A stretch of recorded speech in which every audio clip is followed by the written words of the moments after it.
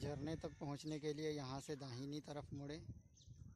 इंदौर की ओर से आने वाले लोगों को यहाँ से दाहिनी तरफ़ मुड़ना पड़ता है। झरना यहाँ से लगभग तीन किलोमीटर की दूरी पर स्थित है।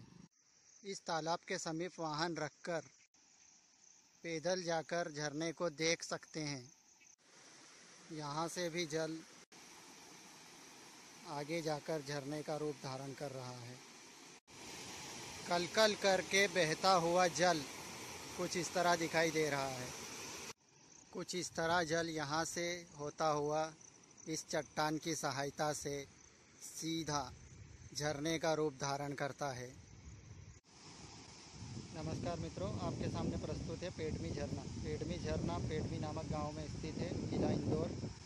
हत्यारी खो से यहाँ तक पहुँचने के लिए लगभग सात किलोमीटर की दूरी तय करनी पड़ती है, जिसका वर्णन कर दिया गया है।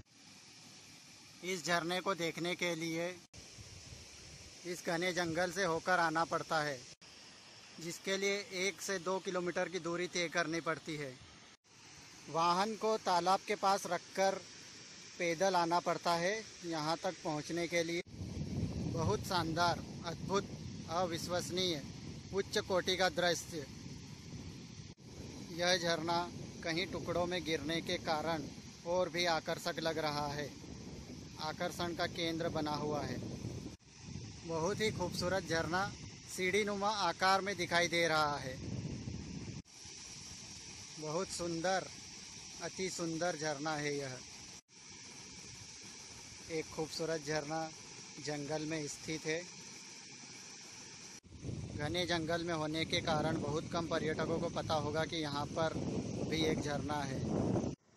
पर्यटकों को अपने साथ कुछ इस तरह बीज भी रखना चाहिए ताकि कि खाली जगह में बीज को गाड़ सके। चारों तरफ़ हरियाली, प्रकृति ने हरियाली की चादर ओढ़ रखी है।